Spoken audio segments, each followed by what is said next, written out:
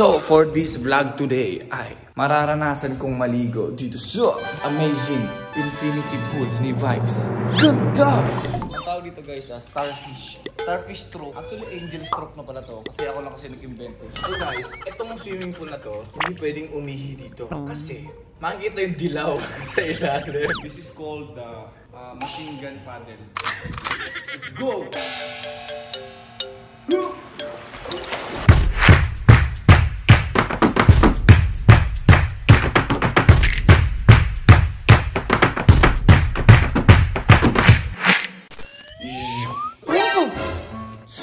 Tanong ay, What's for this vlog today?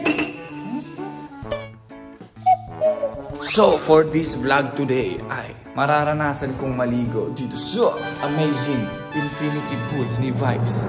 Ganda! Kasi alam naman natin, nakita nyo nito sa vlog, di ba? At nakita nyo siya sa vlog ni Vice. The same time, nakita nyo sa vlog ko, pero hindi ko siya naranasan. Sinilip ko lang, pero ngayon, ma-experience ko ang amazing infinity pool ni Vice with matching question and answer para sa mga tao na curious kung kung ano ang connection ni Wilbert sa Vice Iron. Kung gaano ba sila ka-close. Kung saan sila nagkakilala. Kung saan nagsimula ang lahat.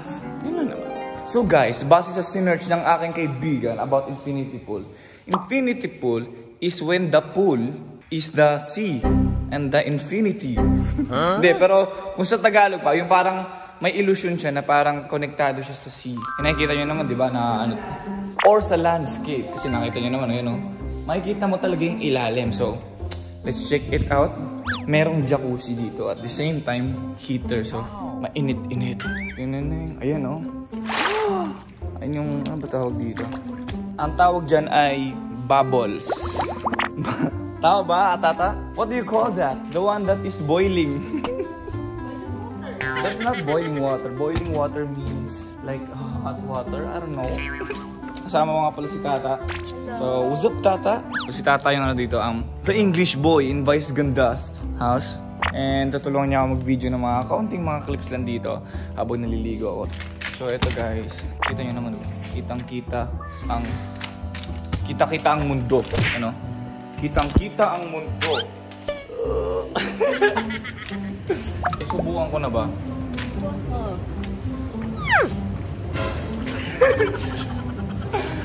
oh my God. The feeling is nice. May heater din ba to, kuya? Ito mismong pool? Ah, pero mabilis. Ah, Okay, so ito pa lang ano, ito pa lang 5 hours para minute. So isipin nyo guys, itong mismong swimming pool na to, ano siya, ah, may heater siya. Pero, this is one of the best thing about this pool. Meron silang jacuzzi. Alam niyo bang meaning ng jacuzzi? Hindi ko din alam. So, jacuzzi to, tapos umiinit din to. So, pwede ka dito mag... Ano ba dapat nauuna? Ha? Tatanungin kita, tata. Ano ba dapat nauuna? Maligo sa swimming pool or sa jacuzzi? Totoo? Bakit? Tangin natin si Ani. Ani, anong tingin mo ang dapat mauna? Ang swimming pool o jacuzzi? Jacuzzi? Okay. So mauuna daw yung jacuzzi. Pero, syempre special ako. Unahin natin swimming pool. special ako eh, syempre, di ba? Actually, okay lang din yung jacuzzi mauna. Actually. So guys, sinasabihan ko ni Tata, hindi ba daw magpapalit ng swimming trunks? Eh, I don't have any swimming trunks. Buy one. Buy one, but the store is closed. Simulan na natin dito sa... Ah! Ang init! Ang simento, syempre, mainit eh. Oh my God! Ah! So, ito yung jacuzzi na umiinit. So, dito daw muna, bago sa... Aray, mainit nga. Ah! So, pag ang init, aray, sa likod pala. So, yung init, hindi pala galing dito sa... Galing pala sa something like may likod dito na naglalabas ng init na tubig. So, yeah. Chill-chill muna tayo dito. Ah, abang iniisip natin yung mga pagkakamali natin sa buhay, dito muna tayo. So guys, yung phone ko naka-stand dito sa swimming pool sa gilid na may tubig. So, depende na kung mamalasin ako, mahuhulog talaga to, di ba? A few inches later. Kaya ayoko talaga ng long hair eh. Nakaka-bad trip pag naliligo. Pag walang tali.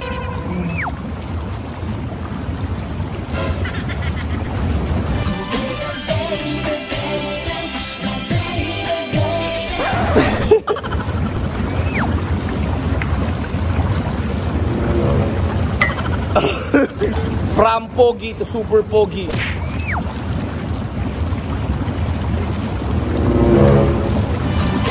Okay. Grabe. Ang dito guys kasi mainit na mainit-init yung nararamdaman ko. So, I think okay na tayo dito sa jacuzzi. Tayo sa lamig. Lamig. Lamig. Dito muna tayo. So dito na tayo sa swimming pool guys. Subukan natin. Hindi naman susubukan. Maliligo talaga tayo dito sa swimming pool. Yung ngayon, kaya nga nag-vlog ako, di ba? Para maligo sa swimming pool. Hindi susubukan lang. God. So guys, pinapapatay ko na tong jacuzzi kasi para magkaintindihan tayo dito sa pool pag nagsisimula na magsalita. Sa ayoko naman, ma! ayoko naman sumigaw habang kausap kayo, di ba? So para manihinahon lang aking pagsasalita. Go. Guys, let's try the swimming pool. Ah. So, ang alam ko, aabot ko ng mga 7 feet. Yung pinaka malalim. What's the English of malalim? I don't know. Uh, uh, deep. Oh my God, you're so good at this, tata. So, dapat uh, uh, maglalakad lang talaga ako na maglalakad habang palayo ng palayo. Kahit na lumubog ako kumabot ako doon. Sigaw. So, from here, amazing ako eh. Kaya ganun ginagawa ko to. Pupunta na sa dibdib.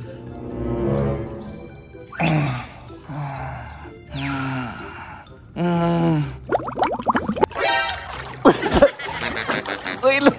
Pumasok sa ilong. Dapat ano? Dapat pala takbang ko ilong ko. Ulit-ulit. Dito tayo. To be continued. Um, Tinanuntan. Hindi ko talaga kaya. Uy.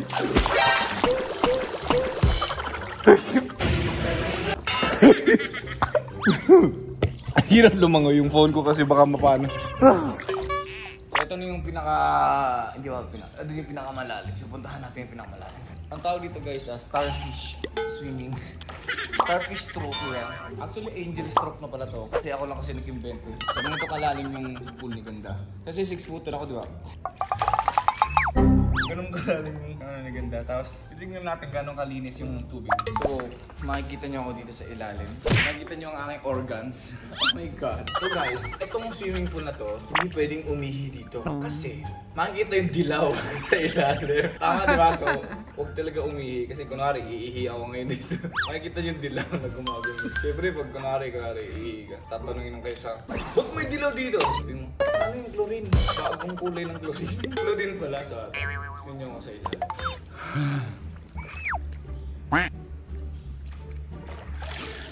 Hindi ako sanay na nakabuka yung mata sa ilalim ng tubig.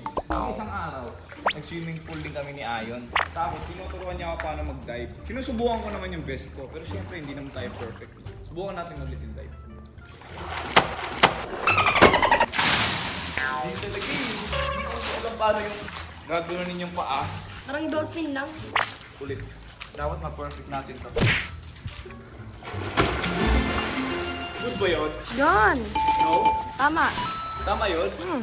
Pero grabe yung tubig sa ilong ko.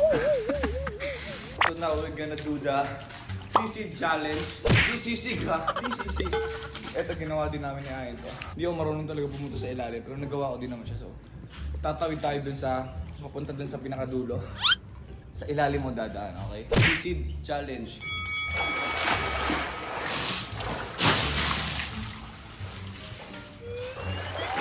Ulit, wait lang na ano niya, hangin ko. ulit, wait, last. Mali yung breathing ko. Pero magaling ako mag ganito ha. At yung pinaka the best talaga. Yung marunong sa ilalim, the sisid. Ano yung sisid?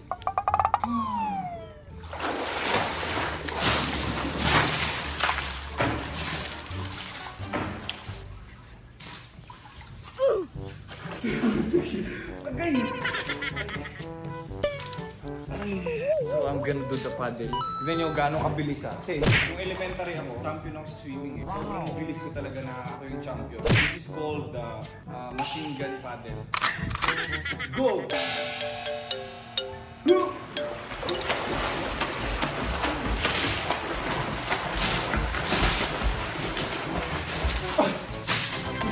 Kono!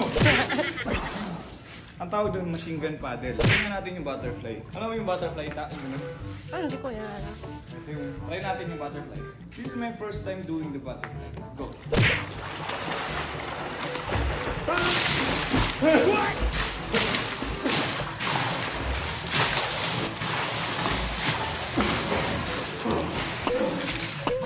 Nakakapagod ng butterfly. Huwag na tayo sa butterfly. Whew. So that was my experience dito sa swimming pool. Pool? Pool. Tapos init. So let's go to the question and answer portion. So a lot of you ask, bakit nandito si Wilbur sa bahay ni Vice? Sasagutin ko yon. So, inibita ako ni Vice dito.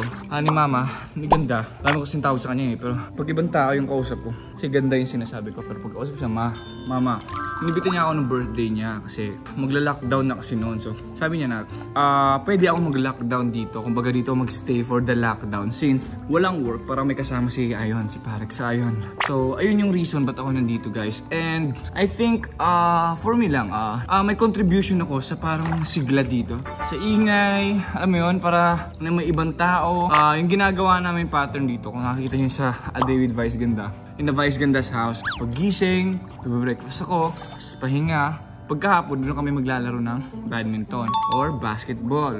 Or, ah pwede ding gym. Mag-gym kami. Pagkatapos ng gym, papahinga, kain. Pagkatapos nun, maglalaro na kami ni Ay ng something like a mobile game or PS5. Yun yung parang ginagawa namin araw-araw. Tsaka ayo, ah hindi, hindi naman sa ayaw, pero hindi ako pinapaalis ni ganda kasi nakaka-touch talaga, ah, nakaka-touch isipin kasi sinasabi niya talaga sa akin na huwag ka muna umalis. It's very dangerous. Yan talaga yung mismong pag lumabas ka, lalabas ka, bibili ka ng pagkain, pwede kang magka-COVID out of nowhere. So sinasabi ni ganda sa akin. So parang ah, ah, masarap sa puso na parang andito ako kasi concerned si, si, si ganda sa akin. Kasi alam niya, ako lang kasi mag-isa sa Manila guys. Ah, yung ibang hashtags, akong tinatanong nyo kung ba't wala sila dito. Ibang hashtags kasi may sarili sila mga family, taga dito sila sa, sa Manila, may ganon. At the same time din, kami kasi ni Ayon ang pinaka, ah, ako kasi yung pinaka-close ni Ayon sa hashtags. Kasi nga, kung nakita nyo sa vlog ko, panoorin nyo to, ah, Bisaya one-on-one with Ayon, magka-condo kami ni Ayon before. So nasa isang condo kami ni Ayon. Close kami, kumbaga ah, ah, malalim din yung connection namin ni Ayon. Kahit di siya natutulog doon, kahit minsan na siya matulog doon, pero nakikita-kita kami doon. Ah, nagkakasabay kami sa gym, gano'n, gano'n yung parang nangyayari sa amin dati. So, ah, ito ah, paano kayo nagkakilala ni Vice? Siyempre hashtags ako. Nang kasama ako, hindi, hindi talaga ako like belong talaga sa grupo. Like yung sa, sa Bex Battalion something before. Bigla na lang akong sinama ni Kid. Si Kid talaga nagsama sa akin. Sa dressing room. Sinasama niya sa dressing room. Sinasabi niya lagi, Bert, tara Bert. Punta tayo kay Vice. Punta kayo tayo. Punta tayo kay Ganda. May pagkain doon. Sabi. Lagi niya sinasabi, may pagkain doon. Tambay tayo doon. Ano naman kami. ah, tumatambay. Mga delivery. Dami. Pizza. Ano pagkain. Tapos kwentuhan. Kulitan. Tapos pag nagsabi na si Ganda na, okay. Ah, outside na. Sa, ibig sabihin yan, malapit na yung live. So malapit na yung work niya. So okay, labas na tayong lahat. Eh, doon nagsimula. Tapos hanggang sa tumagal na tumagal, na lalo akong sumama na sumama. Sinama nila, kasama ako, sinama ako sa Hong Kong. So dalawang beses kami pumunta ng Hong Kong. Si ganda yung ah, parang naglibre sa amin. At the same time, sobrang nakakatawa kasi may isang beses na parang nag-shopping kami na parang challenge na 10 minutes shopping. Only shopping. Ah, sa Zara sa Hong Kong. So yun, grabe guys, grabe talaga. As in, sobrang Mm, kuha, kuha, kuha, kuha. ano yung nangyari kasi challenge nga. So ayun, sobrang, sobrang thankful ko syempre na parang, syempre di ba, Vice Ganda. That is Vice Ganda. Phenomenal. And sobrang thankful ko na from tawag ng tanghalan na siya yung nag-interview sa nung sumali ako. To Pinoy Boy Band Superstar. Siya isa, na isa siya sa mga judges. Naging personal friend ko si Ganda. Naging personal mother ko talaga. Yun personal mother. Pero siya yung pangalawang ah, nanay ko talaga, talaga dito sa Manila. As in, siya talaga yung pinaka ah, pangalawang nanay ko. Kasi nga, nasa Davao yung family ko. So, sobrang thankful talaga ako kay Ganda. Na, ayun, kumbaga, tinuturing niya ako as family talaga. Isang beses, Mother's Day, guys. Sumama ako sa kanya with, ah, ah, with her family. Ako, si, Ray, si Kuya Ryan, with her family. Yung mama niya, tapos siya. Kumbaga, alam niya kasi si Ryan, ah, nasa Korea yung nanay. Ako nasa Davao yung nanay. So, tinanong niya ako wala akong gagawin. Sinama niya talaga ako doon. So parang nag, parang ano, kumbaga yung Mother's Day ko naging special kasi kasama ko yung isang nanay ko dito sa Manila. So yun, sobrang Ah, sobrang thankful ko talaga na dumating ako sa ah, dumating sa buhay sa si si Ganda and ah, grabe guys, she's very help helpful talaga. Ah, sa showtime, binibigyan niya kami ng hashtags ng mga exposure isa-isa. Binibigyan niya kami ng chance to stand out. Sa GGV, binigyan niya ako ng spot. Ilang beses niya binigyan ng spot para kumanta. To let, uh, to let the people know that, uh, that I sing. Uh, pinupush niya talaga kami. Si Ganda yung isa sa mga tao na nagpupush sa'yo. Pero hindi niya, hindi yung, uh, yung parang inaabuso ah. Kasi, si Ganda, tinitrain niya kami na parang magsikap talaga. O sige, uh, tulungan ko kayo, ganyan lang. Pero hanggang doon lang yun. Sa inyo na lahat yun. Kumbaga, pagsikapan nyo. Kasi alam naman natin si Ganda, uh, pinaghirapan niya talaga bago siya umabot dun sa level na yun. So dapat paghirapan din namin yung ganung, uh, yung ganung struggle, di ba? Para umabot, uh, umabot doon sa sa stadong yun. So, ayun. Ayun lang naman. Yun yung mga basic questions ng uh, mga tao, lalo na sa mga Vice Iron fans. Kung uh, ano yung connection ko sa dalawa. Uh, minsan pa nga may para mga instances pa na parang nagre-relay ako ng mga message sa kanila. Ako nagsasabi kay ganda, nagsasabi ni ay mga ganun, mga cute-cute lang. Yung parang mga estudyante na so, sobrang sweet. Ganun, sobrang ano. Tapos grabe guys, na as yung dalawa mismo, sobrang bait nila talaga dito. Ayun nga sinabi ni ganda sa story niya. Sobrang babying baby ako dito sa bahay na to. So ayun, totoo naman. so yun, uh, I think uh, I'm done with this vlog. The vlog with uh, Vice Ganda's Infinity Pool.